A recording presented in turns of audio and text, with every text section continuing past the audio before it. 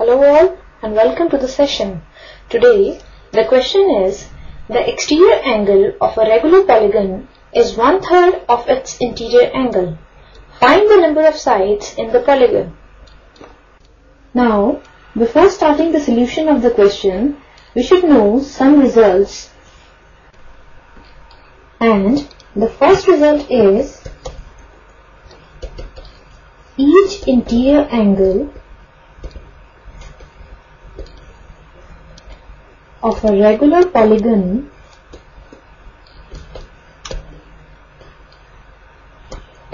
of n sides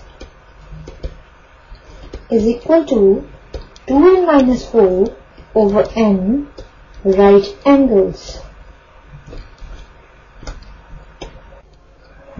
And the second result is each exterior angle of a regular polygon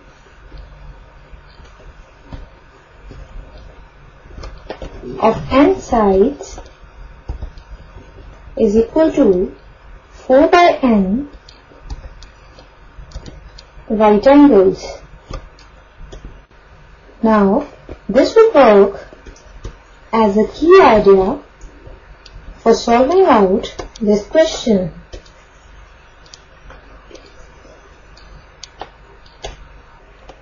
And now we will start with the solution. Here in the question it is given that exterior angle of a regular polygon is one third of its interior angle. This means exterior angle of a regular polygon is equal to 1 by third means 1 by 3 into interior angle of a regular polygon.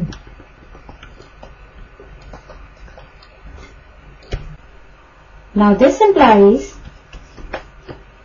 4 by n right angles is equal to 1 by 3 into 2n minus 4 over n right angles. This implies 4 by n into 90 degrees is equal to 1 by 3 into 2n minus 4 over n into 90 degrees. Now here this n will be cancelled with n, 90 degrees will be cancelled with 90 degrees and this implies 4 is equal to 2n minus 4 over 3. Now multiplying both the sides with 3. 4 into 3 is equal to 2n minus 4 over 3 into 3. This gives 4 into 3 that is 12 is equal to here 3 and 3 will be cancelled so it is equal to 2n minus 4. This implies 2n minus 4 is equal to 12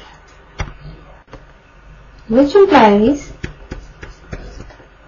2n is equal to 12 plus 4 which gives 2n is equal to 16.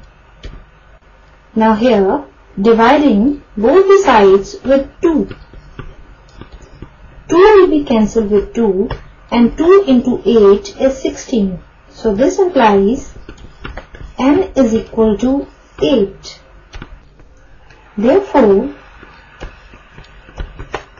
the number of sides